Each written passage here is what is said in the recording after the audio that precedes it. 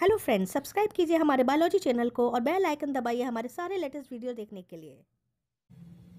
Hello friends, हमने अपने पिछले वीडियो में आपको एलिमेंट्री कैनाल के बकल कैविटी के बारे में बताया था, जिसमें हमने पैलेट, टंग और टीथ के बारे में बताया था।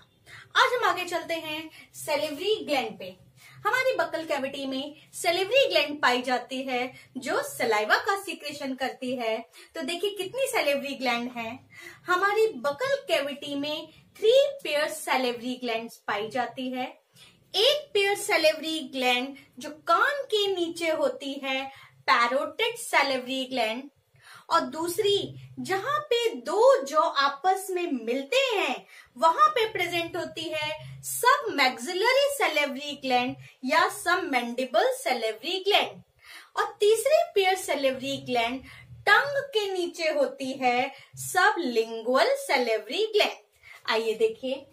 ये है हमारी कान के नीचे पैरोटिड सेलेवरी ग्लैंड जो आपके दोनों कान के नीचे होती हैं एक एक पैरोटिड सेलेवरी ग्लैंड ये सबसे बड़ी सेलेवरी ग्लैंड है।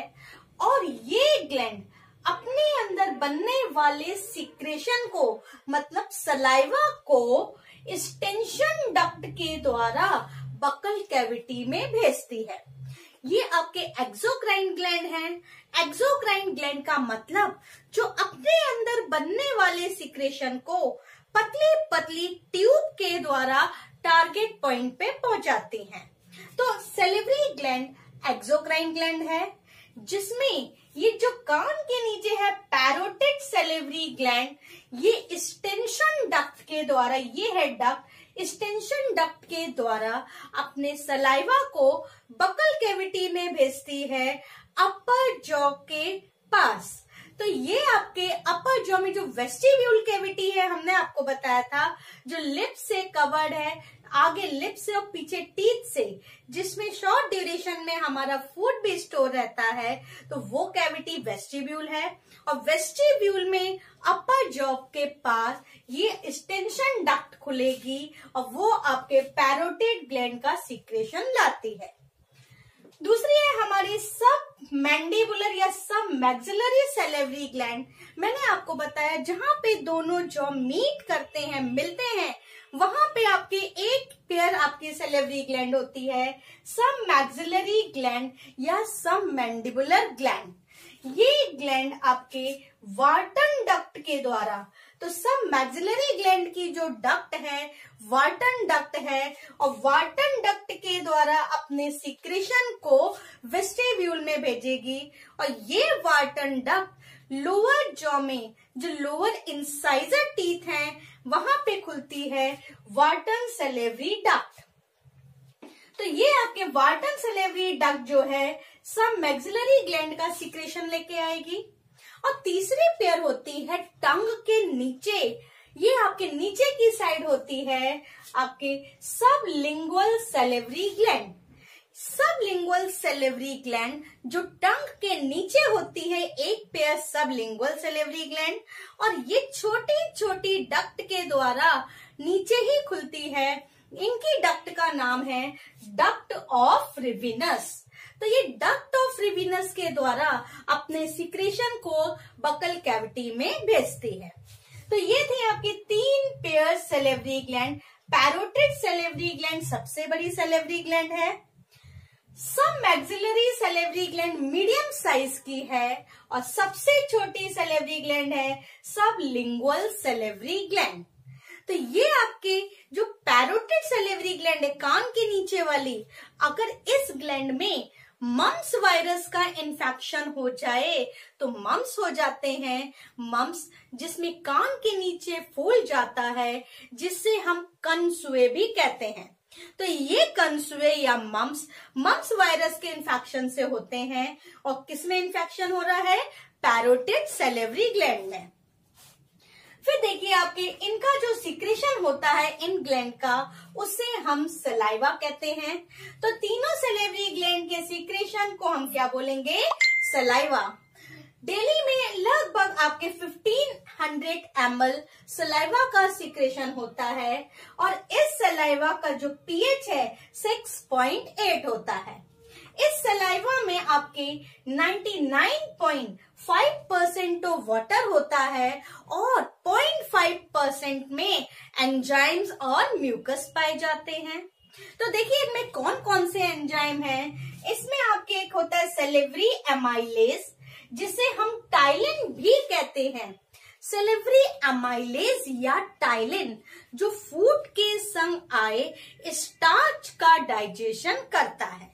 तो हमारी बकल कैविटी में 30 परसेंट स्टार्च का डाइजेशन कौन करता है? सेलेवरी एमाइलेज या फिर टाइलिन साथ में इसमें लाइसोजाइम एंजाइम है लाइसोजाइम एंजाइम जो एंटी एंटीबैक्टीरियल एंजाइम है फ़ूड के संग आए बैक्टीरिया को डिस्ट्रॉय करेगा।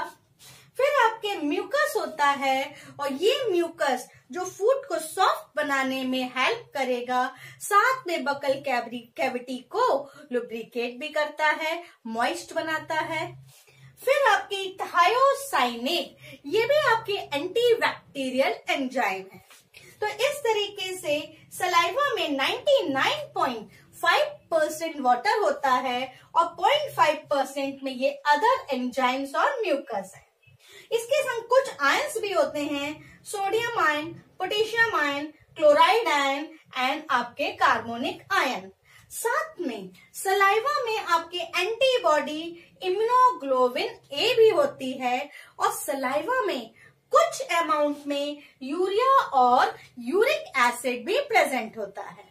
तो ये था हमारे पूरे सलाइवा का कंटेंट जिसमें सलाइवा का 25 percent part parotid salivary gland के द्वारा सीक्रेट होता है और 70 percent part sub maxillary gland के द्वारा सीक्रेट होगा।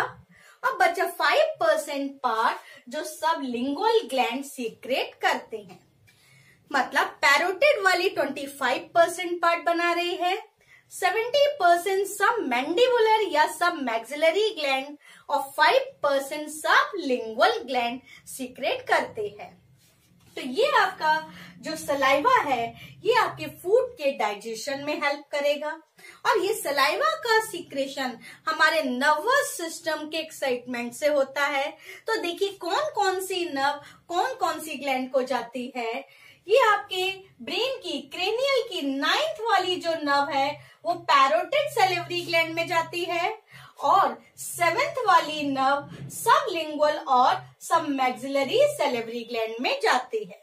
नाइन्थ वाली पैरोटेड में और सेवेंथ वाली सब लिंगुअल और सब मैग्जिलरी सेलेवरी ग्लैंड में जाती हैं और सेलाइवा के सीक्रेशन को इनिशिएट करती हैं।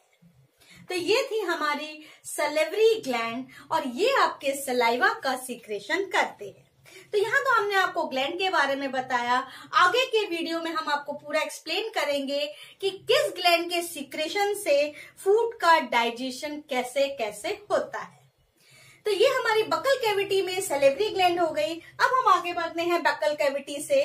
बकल कैविटी पीछे की ओर एक शॉर्ट ट्यूब लाइक स्ट्रक्चर में खुलती है, जिसे हम कहते हैं फेरिंग्स।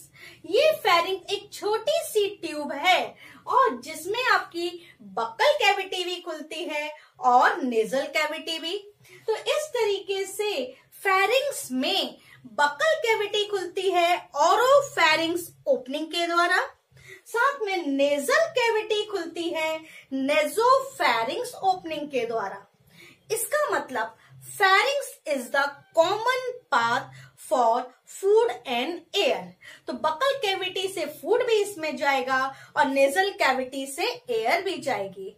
और हमने आपको पिछले वीडियो में बताया था ऑरोफेरिंग्स और नेजोफेरिंग्स के बीच में एक कर्टन लाइक स्ट्रक्चर होता है, जिसे हम कहते हैं युवला या वेलम पेलेटी।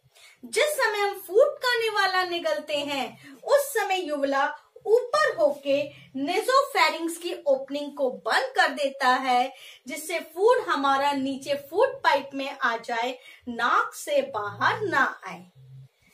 तो ये हमारे फेरिंग्स की ऊपर की दो ओपनिंग और तो फेरिंग्स हमारा नीचे की ओर दो ट्यूब लाइक स्ट्रक्चर में खुलता है, जिसमें आगे वाली होती है विंड पाइप और पीछे वाली होती है फ़ूड पाइप विंड पाइप को हम ट्रैकिया भी कहते हैं और फ़ूड पाइप को हम ईसोफेगस कहते हैं।